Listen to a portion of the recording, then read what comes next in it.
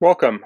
I've done a few videos on setting up iPerf3, which is a command line utility that you can use for testing your network LAN speed.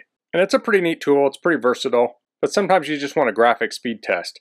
In this video I'll be setting up Open Speed Test on Docker on a Synology NAS. And I'll put a link below to a playlist where you can find those iPerf3 videos. In this video I'm going to be taking a look at Open Speed Test, and I'll be installing it using Docker on a Synology NAS.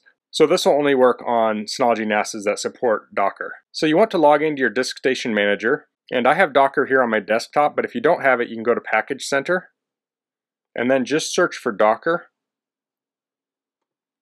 like so. And then you can go here and install it if you don't have it installed already. If you do have it installed and it's not on your desktop, you'll go up here to the upper left menu, and you should see it in this menu. So I'll open up Docker, I'll go down to registry. I'll search for the keyword open speed test. I'll hit enter. I'll be using this first one here from MLabby. I'll select that. I'll hit download. It says choose tag, latest, and then it will have other versions here. I'll just choose the latest. I'll hit select. I'll go to image. And now this should be downloading. You can see over here on the right, it says 12 megabytes. You'll see this rise up and this will flash. When that stops, it means it's done downloading. Okay, that's finished. So I'll select that. Then I'll go to the launch button at the top. I'll hit it. Here I'll go to advanced settings. I'll click on port settings. And we have local port and container port. And I'll just change this to be 8080 also. Port numbers go from 0 to 65535. But you typically don't want to use a number lower than 1024. Those are reserved for system stuff. So I'm using 8080 here, but if it's taken on your system, you can use a different one. So I'll hit apply.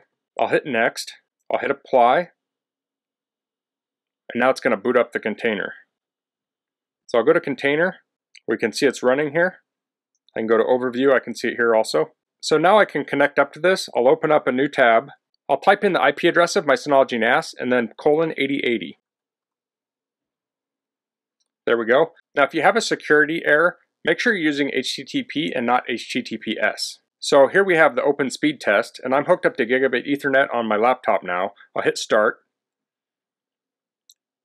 Now, if your NAS is doing other things, like I have this hooked up to surveillance station and such, that can also take network resources, so you may not get full speed. I'm getting 960, that seems pretty good. That's my download speed.